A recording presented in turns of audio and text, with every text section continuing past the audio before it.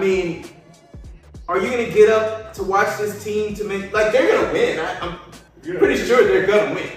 But if Caitlin Clark was on there though, we trying to They see how because it's more interesting in the fact that how are, is she gonna mesh with some of these the greatest players Right, that we some of the have, and then go against the greatest international women. Like we Right. want to see that. We want to see that competition Right. because so more eyes would be watching this, and so it's just unfortunate they don't they they don't use this moment that Caitlin Clark has To and catapult the game. transport that to the Olympics. Because you're gonna win the gold medal anyways. Right. Like, like we know, that- we know, no, nobody's gonna beat y'all. Uh, yeah. I know. Like one player is gonna like I don't necessarily think Angel Reese deserves it. And, Well, hold on now. I- Let's talk about her stats. Angel Reese is averaging 12 points a game and 10 boards Yeah.